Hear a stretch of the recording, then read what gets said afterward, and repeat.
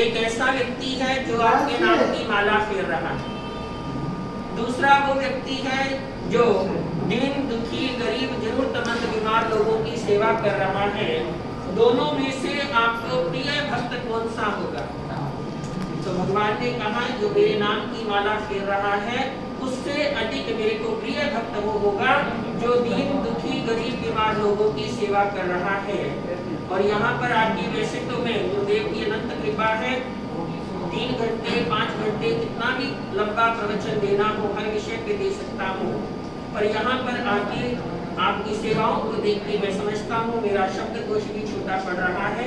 और आपकी सेवाओं का जितना हम अभिनंदन करें उतना ही कम है।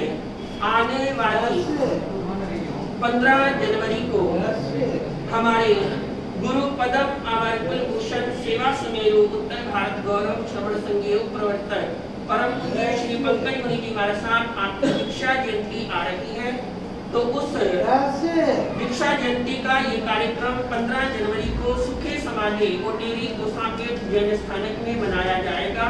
और मैं चाहता हूँ श्री संघ भी यहाँ उपस्थित है गुरुदेव भी उपस्थित है संत परिवार की ओर से भी कोटेरी गोसापेट श्री संघ की ओर से भी आपको सादर निवेदन है कि उस दिन आप वहाँ पधारे और पदम प्रकाशन नरेला मंडी दिल्ली की ओर से वो एक ऐसी संस्था जिस संस्था के माध्यम से जैन आगमों का प्रकाशन होता है जो मैंने कल आपको बताया प्राकृत में हिंदी में इंग्लिश में तीन भाषाओं में विद पिक्चर जिस संस्था के द्वारा आगमों का प्रकाशन किया जा रहा है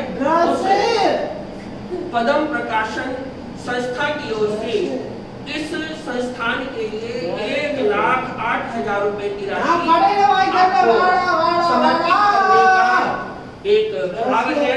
तो उस दिन आप कोटेरी कोसापेट संघ के प्रांगण में 15 जनवरी को पधारे और पदम प्रकाशन की ओर से एक लाख आठ रुपए की राशि आपको समर्पित की जाएगी।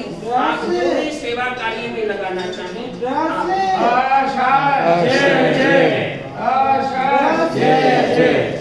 और आपकी सेवाओं को देखते हमारा भी मन अभिभूत है आनंदित है और हम प्रार्थना करते हैं कि प्रभु आपको ऐसी भक्ति ऐसी शक्ति दे कि आप इस मिशन को खूब आगे बढ़ाएँ।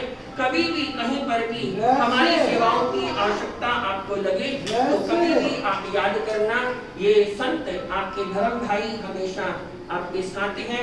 और एक जनवरी का टी नगर में मंगल पाठ रहेगा तो उस समय वहाँ भी आप पधारे हमारी भावना रहेगी वहाँ भी श्री संघ को प्रेरणा प्रदान करें। और जो भी ये आपने हमारे जैन समाज का एक गौरव बढ़ाया है क्योंकि प्रवचन करना आसान है भाषण देना आसान है शायद